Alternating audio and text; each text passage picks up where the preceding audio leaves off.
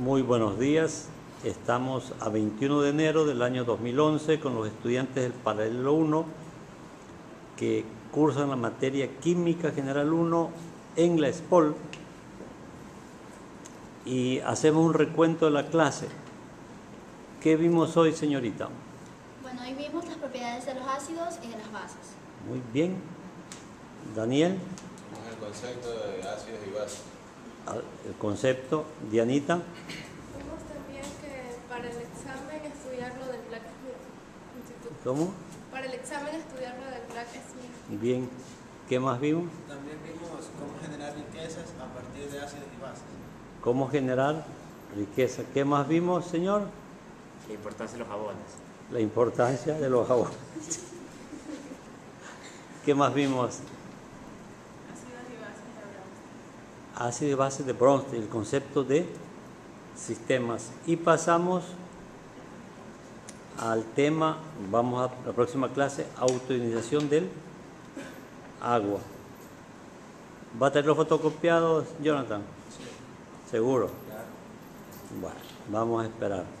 Primero lo esperamos el lunes, ¿no? Pero tú tienes SEC el lunes. El martes. Muy bien. Pasamos a la sección de frases célebres. Muy buenos días, soy Cristian Contreras y la frase de Abraham Lincoln es la siguiente. The loss of enemies does not compensate for the loss of friends. Es una profunda frase. ¿Nos lee Cristian, por favor? Jenner Merchan la va a leer. Ah, la va a leer Jenner. Sí, yo voy a leer la traducción de la frase de Abraham Lincoln. La frase quiere decir que la pérdida de enemigos no se compensa por la pérdida de amigos. ¿Qué significa eso, Jenner? Eso nos quiere decir de que uno no puede comparar perder a un amigo muy íntimo como a perder a sus enemigos. Invierta en conservar a sus amigos.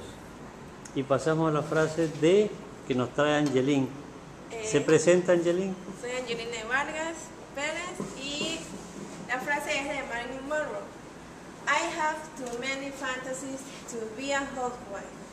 I guess I am a fantasy. Muy bien. Housewife. La va a leer Ricardito. Ricardo, se presenta.